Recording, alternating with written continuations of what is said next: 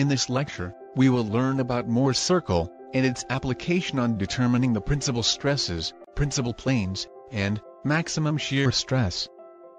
At the end of this lecture, we will solve three numerical problems, based on Mohr's circle from the previous year GATE question papers. Mohr's circle, invented by Christian Otto Mohr, is a two-dimensional graphical representation of any stress tensor. Mohr's circle is often used to determine the material's strength, soil strength, and the strength of build structures. It is also used for calculating stresses in any plane by reducing them to vertical and horizontal components. The vertical components are normal to the plane, and the horizontal components are tangential to the plane. The planes on which the shear stress or tangential stress induced is zero, are called as principal planes. The normal stress acting on a principal plane is called as principal stress. We have two principal planes, one is major principal plane, and the other one is minor principal plane. Therefore, the normal stress acting on the major principal plane is called as major or maximum principal stress and the normal stress acting on the minor principal plane, is called as minor or minimum principal stress. Let's consider an example to understand the principal planes and principal stresses. Here, we have a two-dimensional stress tensor, corresponding to the state of plane stress.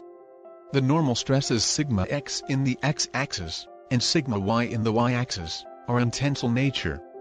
Tau xy is the shearing stress, which always comes with a complementary stress. Suppose, if we need to determine the normal and tangential stress, at any plane in the stress tensor, we can find them using stress transformation equations. But, our objective is to find the principal planes, and principal stresses.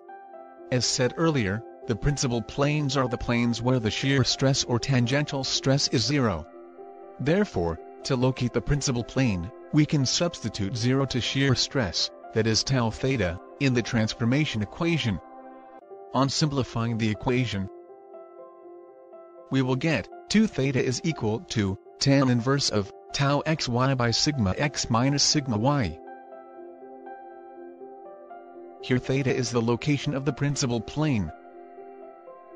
Now, the normal stress or the direct stress corresponding to this theta is the principal stress.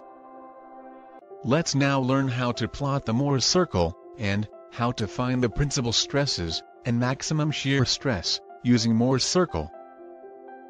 Before starting with the Mohr's circle, let's recap about the principal stresses and see what is maximum shear stress as they are very important. Principal stresses are the normal or direct stresses that occur on the major principal plane and the minor principal plane principal stresses occur at the plane where shear stresses are zero. They are very important in predicting the failure of the structure as it is the maximum stress at the critical plane. Next we will see maximum shear stress. Maximum shear stress is the maximum concentrated shear force in a small area. Like the normal stresses, the shear stress will also have a maximum value at the given angle, theta tau max. Maximum shear stress occurs at the plane, which is 45 degrees from the principal plane. Getting back to Mohr's circle. It is a graphical method to determine the normal and shear stresses for any plane on a stress tensor, easily without choosing stress transformation equation. Let's learn to construct the Mohr's circle. To begin with, we know that there should be a vertical and a horizontal axis for every graphical method. Since Mohr's circle is one of them, we will first draw the horizontal and the vertical axis. The horizontal axis represents the normal or direct stresses, and the vertical axis represents the shear stresses. Considering the same stress tensor, let us first mark sigma x and sigma y on the horizontal axis. Usually, stresses in the x-axis are larger, compared to the stresses in the y-axis. And, Note that sigma x and sigma y are marked on the positive side of the graph, since the tensile stresses are assumed to be positive. Then, the shear stress tau xy acting on the x-plane, which is likely to create a counterclockwise rotation, so mark it on the positive phase of the vertical axis. Similarly, tau xy acting on the y-plane, which is creating clockwise rotation, can be marked on the negative phase of the vertical plane. Now, join these two points, which defines the diameter of the Mohr circle. We can now draw the Mohr circle, with the obtained diameter. It is interesting to know that, each point on the Mohr circle represents the normal and shear stress for particular plane on the stress tensor. We can also determine the principal stresses from the Mohr circle. Since we already know that the shear stresses are zero at the x-axis, the points meeting the Mohr circle on the x-axis defines the principal stresses for our stress tensor. Point A is the maximum principal stress and point B is the minimum principal stress from the origin. Principal stresses can be calculated by taking the x-coordinate of the center of the circle, and adding the radius of the circle to find the maximum principal stress and subtracting the radius of the circle to find the minimum principal stress. We can also calculate the maximum shearing stress tau max with the help of the Mohr circle. It is evident that the maximum shear occurs at the radius of the Mohr circle, which we can easily determine by using the equation for the radius of a circle. Now you may remember that the maximum shear stress occurs at the plane 45 degree from the major principal plane. But, here, the major principal plane, that is x-axis is 90 degree from the plane where the maximum shear stress occurs. It is an important thing to know is that the angles in the Mohr circle are double compared to the angle of the plane in our stress tensor. This is because while plotting the normal stresses on the Mohr circle, there is 180 degrees between sigma x and sigma y, whereas on our stress tensor, the angle between sigma x and sigma y is 90 degrees. This is why we use 2 times the theta notation on the Mohr circle. Theta is the angle of the plane on our stress tensor, and 2 theta is the angle of the same plane on the Mohr circle. Let's see some example numericals from previous year GATE question papers. First question is from the GATE 2012 paper.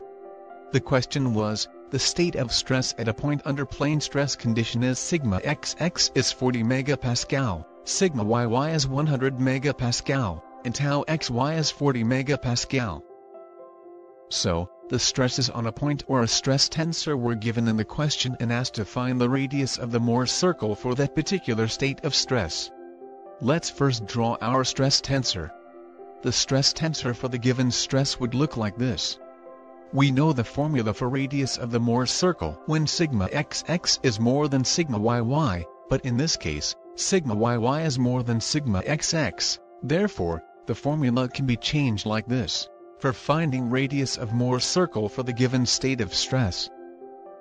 Now, substitute the values for the known parameters in the equation and get the answer for the radius of the Mohr circle, which on simplifying, we will get 50 megapascal. Let's see the next example problem. This question is from the GATE 2018 paper.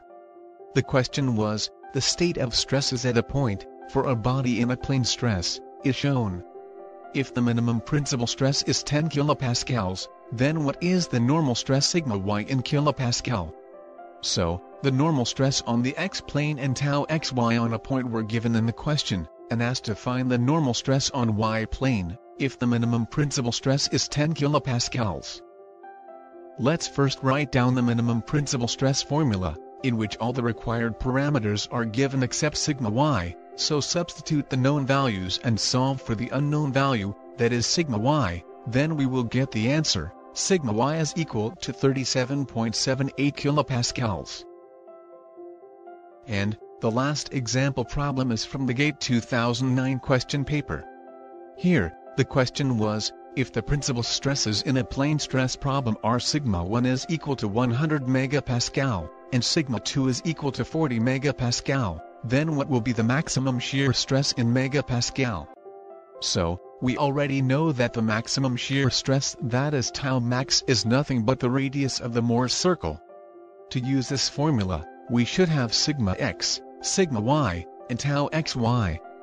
But, Here in this question the parameters given are the principal stresses 1 and 2, that is major and minor principal stresses. Let us draw the Mohr circle for the given principal stresses. Our Mohr circle will look like this. We know that tau is maximum at the radius of the Mohr circle. We currently have sigma 1 and sigma 2 coordinates of the Mohr circle. Since the radius of the Mohr circle is also sigma 1 minus sigma 2 by 2 we can solve for our radius of the Mohr circle eventually the tau max. Note that, when sigma 1 and sigma 2 that is major and minor principal stresses are given to find the maximum shear stress, then we have an option to use, major principal stress minus minor principal stress, divided by 2, formula. So, on substituting the values, we will get, tau max is equal to 30 megapascal. That's the end of this lecture.